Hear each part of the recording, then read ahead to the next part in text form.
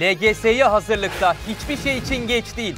Hızlandırılmış LGS dershanesinde genel tekrar videolarıyla konu eksiklerini kapatabilir, 3 ayda 10 binin üzerinde soru çözümü ve gerçeğini aratmayan LGS provaları yaparak sınava hazır bir şekilde girebilirsin. Üstelik hızlandırılmış LGS dershanesi şimdi %45'e varan indirimlerle seni bekliyor. Detaylar tonguçakademi.com'da. Herkese merhabalar. Bugün sizlerle birlikte arkadaşlar Hazreti Muhammed'in yani peygamberimizin örnekliği konusunu öğreneceğiz. Çok önemli bir konu. Bugünkü dersimizde peygamberimizin doğruluğu ve güvenilir kişiliği, merhametli ve affedici oluşu, istişareye yani danışmaya önem vermesi, kendi başına karar vermiyor. Başkalarına da danışıyor mesela. Hendek Savaşı'nda danışmıştı ve çukur kazılmasını istemişti. Yine peygamberimizin davasındaki cesaret ve kararlılığı, hakkı gözetmedeki hassasiyeti ve insanlara değer vermesi konusunu öğreneceğiz. Bu konular çok çok önemli. Hem öbür dünya için önemli bunu zaten tahmin ediyorsunuz. Hem de LGS'de de mutlaka bu konudan çok çok soru geliyor arkadaşlar. Peygamber Efendimizin insanlara değer verdiği ile alakalı bir hikaye veriyor, bir olay anlatıyor veyahut da bir hadis veriyor. Ardından da bunu yorumlamamızı istiyor seçeneklerde. Siz soruyu okuyorsunuz paragrafı diyorsunuz ki evet peygamberimiz insanlara değer verdi. Okuyorsunuz işte peygamberimiz hakkı gözetirdi. Okuyorsunuz soruyu doğruluğu emrederdi gibi ifadeleri yakalamanız gerekiyor. Esasında paragraf gibi sorular geliyor. Net bir şekilde bilgi sorusu gelmiyor. Yeter ki siz buradaki konuyu bilin arkadaşlar. Çok güzel bir şekilde öğrenin. Bu arada dersimize başlamadan önce küçük önemli bir duyurumuz var. Hızlanma programımız geliyor. Hızlanma programında sizlerle beraber Türkçe'de, matematikte ve diğer derslerde hızlanmanız için çok güzel bir kamp hazırladık. Matematik, Türkçe ile alakalı süper bir şekilde birinci dönemi tekrar edip, şu ana kadar gördüğümüz konuları tekrar edip, ikinci dönemdeki hızlanmayı başlatıyoruz arkadaşlar. Burada size bir de hediye denemelerimiz var. Şimdi isterseniz intromuz girsin, sonra zaten dersin sonunda bir kez daha ben o kitapları sizlere göstereceğim ve güzel bir şekilde konumuzu öğrenmiş olacağız. Hadi bakalım.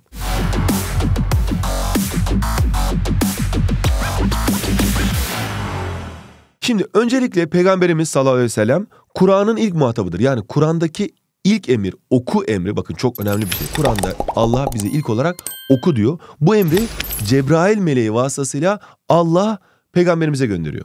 Peygamberimize biz insanlara gelip diyor ki arkadaşlar dikkat edin Allah bana emir gönderdi ve bu emirleri sizlere söylememi, sizlere tebliğ etmemi istedi İşte tek bir Allah'a inanın, okuyun, çalışın gibi cümleler söylüyor. Bu cümleleri Allah'tan duyarak, melekler aracılığıyla Allah'tan duyarak bize aktarıyor.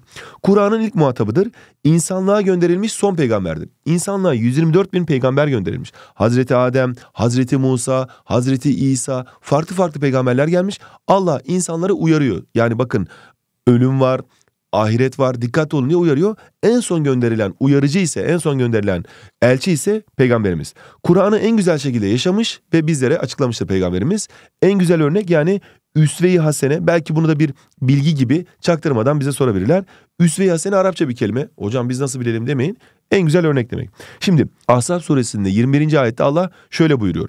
Andolsun Allah'ın Resulünde sizin için Allah'a ve ahiret gününe kavuşmayı uman, Allah'ı çok zikreden kimseler için güzel bir örnek vardır. Buradan anlıyoruz ki Peygamberimiz yani Hazreti Muhammed bizim için en güzel örnek. Biz onu örnek almamız gerekiyor. Şimdi Peygamberimizin doğruluğu ve güvenilir kişiliğine bakalım. Birincisi sıdk yani peygamberimiz dürüst bir insan. Her zaman doğruyu söylüyor ve kimseyi aldatmıyor. Yani peygamberimize inanmayan, İslamiyet'e inanmayan, biz Allah yoktur haşa diyen insanlar bile peygamberimizin her zaman için güvenilir insan olduğunu biliyorlar.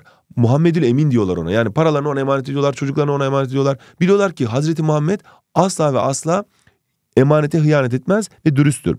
Aynı zamanda güvenilir yani emanet bir insan. Emanete ihanet etmiyor ve verdiği sözü tutuyor. Zaten emanetül yani Muhammedül Emin emanete sahip çıktığını gösteriyor. Sıdıkta dürüst olduğunu gösteriyor. Müslüman insanların elinden ve dilinden emin olduğu kimsedir diye çok güzel bir hadis var. Bu hadisi zaten okuduğunuzda zaten anlayabiliyorsunuz ama buradan şunu anlıyoruz. Yani ben namaz kılıyorum, oruç tutuyorum, zekat veriyorum, hacca gidiyorum ama bana insanlar güvenmiyorsa, benim elimden ve dilimden emin değilse o zaman sıkıntı var demektir. Demek ki İslamiyet'in özünde esasında ahlak var, dürüstlük var. Bunu da peygamberimizin hadisinden anlıyoruz. Yine Peygamberimizin doğruluğu ve güvenilir kişiliği alakalı örnek olaylar. Zaten LGS'de de arkadaşlar örnek olayı bize anlatacak.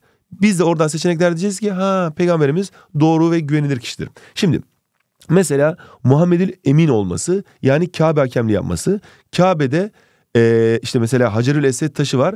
Onu koyacaklar. Kim yapacak kim yapacak? En doğru kararı Hazreti Muhammed karar verir diyorlar. Ve taşı işte bir tane örtünün ortasına koyacaklar. Ve işte o dönemin e, ileri gelenleri dört bir tarafından tutup hep beraber e, taşı Kabe'ye Kabe'nin yanındaki e, kısma yerleştirecekler.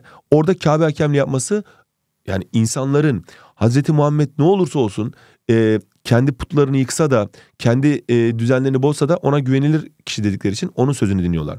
Hazreti Hatice'nin ticaret kervanı ona emanet etmesi. Peygamberimizin eşi Hazreti Hatice çok zengin bir kadın. Tüccar, çok zengin. Ama Hazreti Muhammed'le tanıştıktan sonra ona o kadar güveniyor ki tüm kervanını ona emanet edebiliyor. Safa Tepesi'nin arkasında bir düşman ordusu olduğunu söylesem bana inanır mısınız diyor mesela peygamberimiz bir olayda. İnanıyorlar tabii ki. Niye? Çünkü peygamberimiz asla yalan söylemiyor. Hicret öncesi emanetleri Hazreti Ali'ye teslim etmesi. Yine bu da çok önemli bir olay. Düşmanlarının bile onun doğruluğunu tasdik etmesi. Yani peygamberimizi sevmeyen insanlar bile düşman olan insanlar bile onun asla yalan söylemeyeceğini biliyorlar. Hudeybiye anlaşmasının şartlarına bağlı kalması, Mekkeliler ve e, Medineliler anlaşma yapıyorlar biliyorsunuz. Bu anlaşmaya yine peygamberimizin sadık kalması onun doğruluğu ve güvenilir kişiliğini gösteriyor. Şaka bile olsa asla yalan söylememiz. Aa yalan söyledim ama şakaydı. Aa, öyle bir şey yok. Peygamberimiz mutlaka doğruyu söylüyor. İşte buna benzer olaylar anlatılabilir ve ardından siz seçeneklerde peygamberimizin doğru ve güvenilir kişi olduğunu bulmanız gerekiyor. Merhametli ve affedici oluşuyla alakalı kısma bakalım. Merhamet, sevgi, şefkat ve acıma duygusu demek. Hepiniz annenizin ne kadar merhametli, ne kadar şefkatli olduğunu biliyorsunuz. Peygamberimiz çocuklara karşı merhametliydi. Doğayı ve hayvanları korurdu, yoksulları ve yetimleri gözetirdi. Kendisine yapılan kötülükleri bile affetmiştir. Peygamberimiz Allah'ın varlığını anlatmak için e, Mekke'ye çok yakın bir kent var Taif diye. Oraya gidiyor işte ey insanlar Allah vardır Allah'a inanın e, cennet var cehennem var diye anlatıyor. Oradaki çocuklar peygamberimizi taşlıyor. Bildiğin taşıyorlar ve kan revan işte bırakıyorlar. Peygamberimiz koşarak kaçmak zorunda kalıyor. Ama o çocukları bile affediyor. O çocukları bile e, bağışlıyor. Niye? Çünkü kendisine yapılan kötülükleri bile affeden ve çocuklara karşı merhametli olan onlar çocuk bilmez diyor ve e, çok e, merhametli olduğunu bir kez daha buradan anlıyoruz. Yeryüzündekilere merhamet edin ki göktekiler de size merhamet etsin. Yani biz insanlara merhamet edersek Allah da bize merhamet ediyor. Yani sadece insanlar değil bu arada. Yeryüzündekilerden kastımız bak yeryüzü diyor peygamberimiz. Yani kediye de merhamet etmemiz lazım. Köpeğe de merhamet etmemiz lazım. Hayvanlara, ağaçlara. Ağacı kesiyorsun. O zaman sen merhametli değilsin. Kediye vuruyorsun. O zaman sen merhametli değilsin. Yani canlılara, yeryüzündeki hiçbir şeye zarar vermememiz gerekiyor. Şimdi yine peygamberimizin e, merhametli ve affedici oluşuyla alakalı bazı örnek olayları biz burada söyleyelim. LGS'de de buna benzer bir olay verip seçeneklerde doğruluğu ve güvenilirliği mi yoksa merhametli ve affedici oluşumu yakalamanız gerekecek. Çocuğun ağlama sesini duyunca namazı kısa tutuyor bak. Allah'a dua ettiği en önemli ibadet olan namazda çocuğun ağladığını duyunca hemen namazını hızlı bir şekilde bitirip çocuğun ağlamasına yardımcı olmaya çalışıyor. Ama ağlarsa ağlasın çocuk sonuçta ben ibadet ediyorum demiyor. Kavga için Ey Rabbim sen bunlara hidayet eyle onlar bilmiyorlar onun için böyle yapıyorlar diye dua etmesi. Yine işte Taif olayında da buna benzer bir dua ediyor kavga edildiği zaman da yine ona saldırıldığı zaman da buna benzer şeyler söylüyor. Yani Allah'ım sen onları affet onları doğru yola getir diyor. Mekke'nin fethinde müşrikleri affetmesi. Biliyorsunuz müşrikler yani Allah'a inanmayanlar Mekke ile Medine arasında savaşlar olmuştu. Bedir Savaşı oldu. Uhud Savaşı'nda Hazreti Hamza amcasının kalbini sökmüşlerdi, ciğerini sökmüşlerdi. Ama onların hepsini affediyor Peygamberimiz Mekke'ye geldiği zaman. Ben çocuklarımı hiç öpmem diyen adama verdiği cevap. Bir tane adam var ben çocuklarımı öpmem ben sert babayımdır diyor. Peygamberimiz hayır bu yanlış bir davranış diyor. Çocukları sevmeliyiz diyor.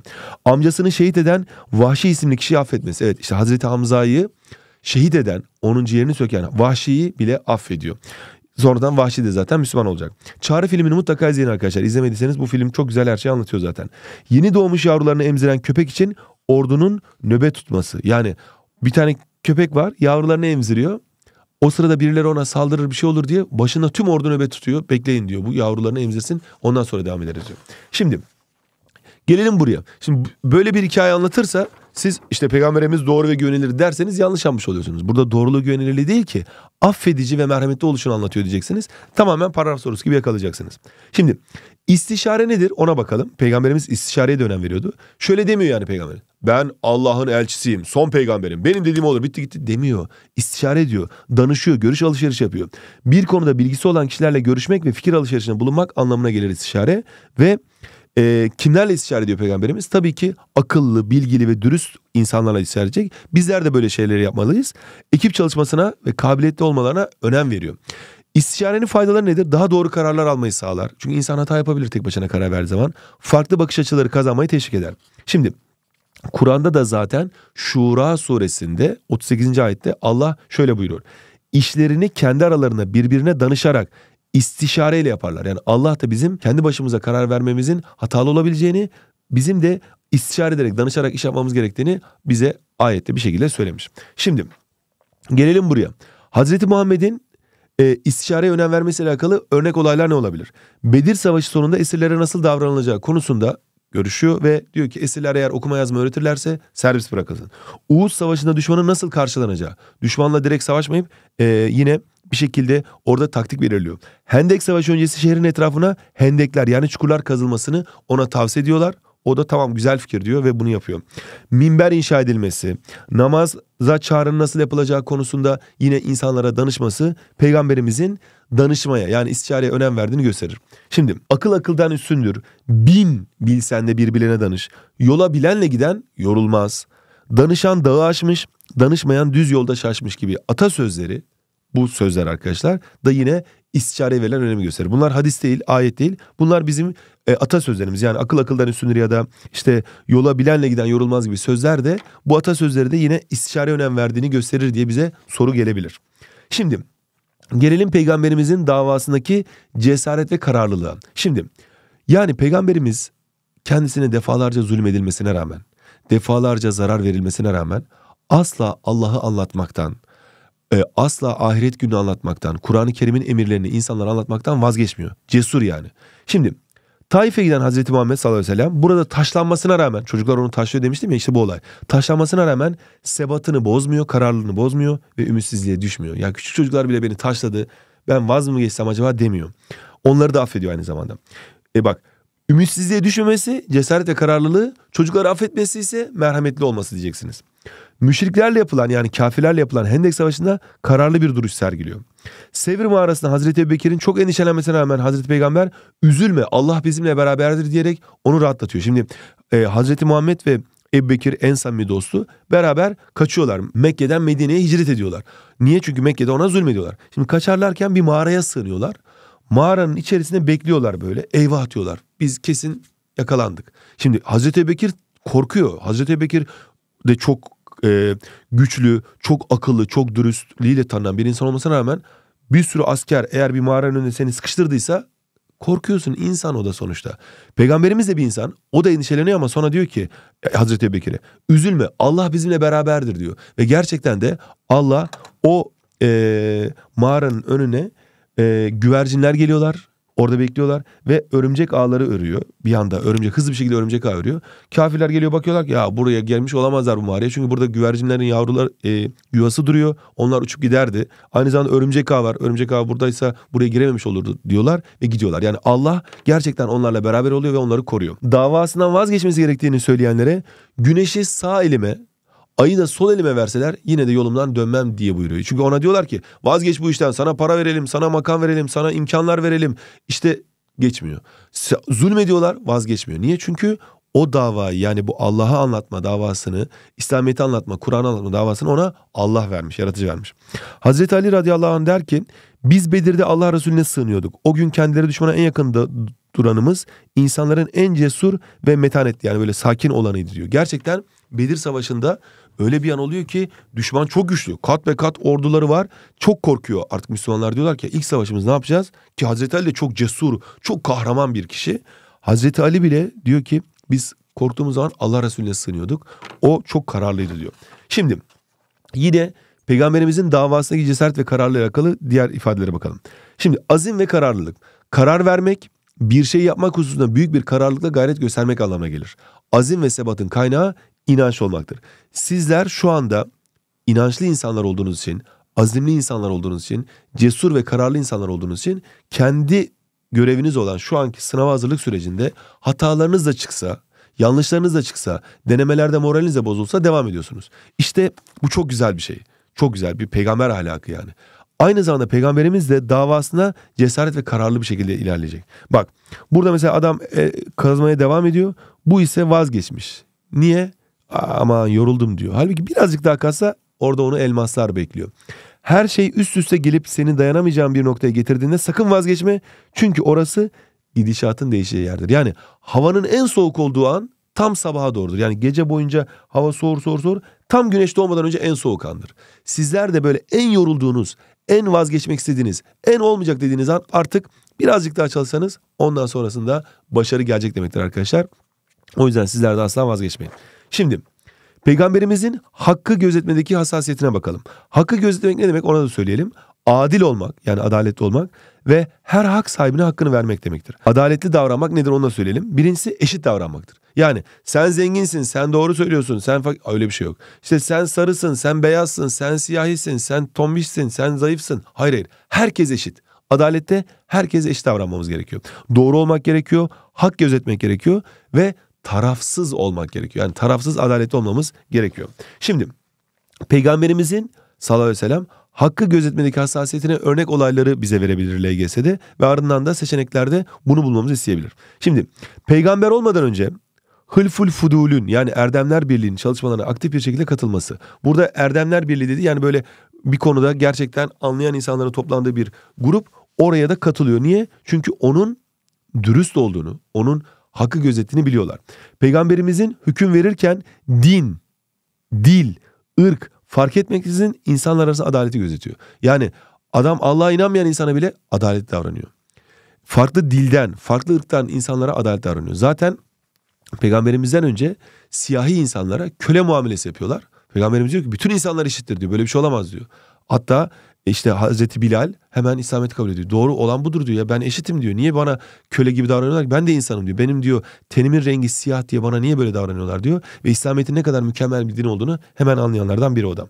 Allah'a yemin ederim ki suç işleyen kızım Fatıma bile olsa onu cezalandırmaktan çekinmem buyuruyor peygamberimiz. Yani insan kendi kızına zarar verir mi? Vermez değil mi? Ama suç işlediyse veririm diyor. Ben adaletliyim diyor.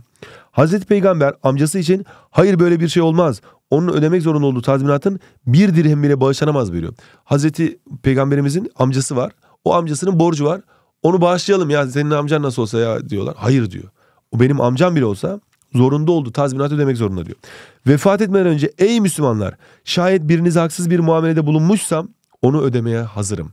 Kimin hakkı varsa işte şahsım işte malım gelsin alsın buyuruyor. Yani vefat etmeden önce de o kadar insanlara iyi davranmış, o kadar insanlar tarafından sevilmiş, insanların etrafında toplandığı, şu ana kadar dünyaya gelmiş en mükemmel insan olmasına rağmen yine adaletli davrandığı için, hak gözettiği için insanlara diyor ki o dönemde yaşayan insanlara eğer benden alacağınız varsa gelin alın diyor. Şimdi eşitlik ve adalet de çok önemli arkadaşlar. Bakın mesela burada herkese eşit bisiklet verilmiş. Ee, engelli arkadaşımıza da bu bisiklet verilmiş. Uzun boylu arkadaşa da bu bisiklet verilmiş. Bu arkadaşa da bu bisiklet verilmiş. Çocuğa da bu bisiklet. Bu, herkes eşit. Olmaz ki. Eşitlik başka şey, adalet başka şey bak. Buna buna uygun bisiklet verilmesi lazım. Buna daha büyük bisiklet verilmesi lazım. Buna daha mintoş, buna daha da mintoş bisiklet verilmesi lazım. Yani eşitlik demek adalet demek değildir. Eşitlik doğru olanı adil bir şekilde dağıtmak olması daha iyi oluyor arkadaşlar.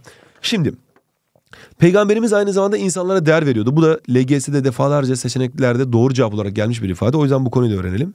Hata yapanları rencide etmeden yani kırmadan uyarıyordu. Hata yaptın. Sen bir tam bir malsın, dangozsun sen demiyor. Onları kırmadan uyarıyor. İnsanların onurlu bir yaşam sürmesi için çaba sarf ediyor. Irk, cinsiyet, makam, mevki ve şöhret gibi farklılıkların insanın değerini belirlemeyeceğini buyuruyor. Yani o sen çok işte yüksek bir mevkidesin, ünlü bir yerdesin, şöhretli bir insansın. O zaman sen şöylesin, sen daha... Hayır öyle bir şey yok. Herkes eşit. İnsanların dertlerini sabırla dinliyor, sorunlarına çözüm bulmaya çalışıyor. Karşısındakini dinlediğini ve anladığını göstermek için yüzüne bakarak konuşuyor. Yani iletişimde biliyorsunuz bunu 7. sınıfta öğrenmiştiniz. İletişimde karşımızdakinin gözüne bakarak onu dinlemek, onu sabırla dinlemek, onun söylediklerini karşılık vererek dinlemek gerçekten çok değerli. Peygamberimiz de insanlara değer verdiği için bunlara dikkat ediyor. Şimdi arkadaşlar konumuz esasında son derece önemli ve son derece kolay. Size bir hikaye verecekler, bir olay verecekler Peygamber Efendimizin yaşadığı veya bir söz verecekler. Buradan siz eğer insanlara değer verdiyse Peygamberimiz insanlara değer veriyor diyeceksiniz. Hakkı gözettiyse hakkı gözetmedeki hassasiyet diyeceksiniz. Veyahut da işte cesursa, davasından vazgeçmiyorsa, kararlıysa bunu anlayacaksınız. Veyahut da aynı şekilde diyecek ki mesela işte peygamberimiz istişareye önem veriyor. Danışıyor diyecek. Bunu yakalamanız gerekecek. Yani eğer birilerine danışarak iş yapıyorsa. Veyahut da işte şurada ben bir an bir an hepsini tekrar etmiş oluyorum. İşte eğer affediciyse, kendisine zarar veren insanlara bile e, merhametli davranıyorsa, merhametli ve affedici diyeceksiniz. Ya da doğruyu söylüyorsa, asla yalan söylemiyorsa, güvenilirliğini, doğruluğunu söylemeniz gerekecek arkadaşlar. Tamamen paragrafa göre gelen sorular olacak. Hiç endişelenmenize gerek yok. Bizler son kez duyuru yapacaktım. Onu da bir kez daha söylemek istiyorum. Hızlanma programında arkadaşlar sizler için çok önemli 5 video hazırladık. Türkçe, matematik, Türkçe, matematik, matematik. Bu 5 video sonrasında elinize ne geçeceğini söyleyeyim. Birincisi öncelikle burada anlattığımız konularla alakalı sizlere süper soru çözümleri ve taktikler vereceğiz. Sizler de LGS matematik, matematik denemelerinin içerisinde yer alan tam temel sorular, kolay düzey yeni nesil sorular, orta düzey yeni nesil sorular ve zor düzey yeni nesil sorular, çok zor düzey yeni nesil soruları çözerek yani matematik denemelerini çözerek matematik netlerinizi artırmış olacaksınız. Aynı zamanda hızlanmış olacaksınız. Aynı zamanda paragrafta da yine bakın burada süreleri verilmiş. 17 dakika, 19 dakika, 22 dakika, 10 dakika, 15 dakika, 20 dakika. Her bir süreyi dikkatli bir şekilde uygulayıp testler çözdüğünüzde paragrafta da hızlanmanız ve odaklanmanız artacak. Ve aynı zamanda kampa ismini veren, hızlanma programına ismini veren hızlanma denemelerinden de çok güzel sorular çözüp burada ya- yaptığınız yanlışları da burada analiz sayfalarımızı analiz edeceksiniz. Ve birinci dönem konularını kaçırmamanız için size bu artık netler artıyor denemelerini hediye ediyoruz. Bu denemeleri de çözdüğünüzde mükemmel bir şekilde LGS yolculuğunuzda başarıya ulaşacaksınız arkadaşlar. Hadi bakalım ödülü sorumuzu yapın, yorumlara yollayın. Bu arada meydan okuma testinde de size çok güzel sorular bekliyor. Hadi bakalım görüşmek üzere.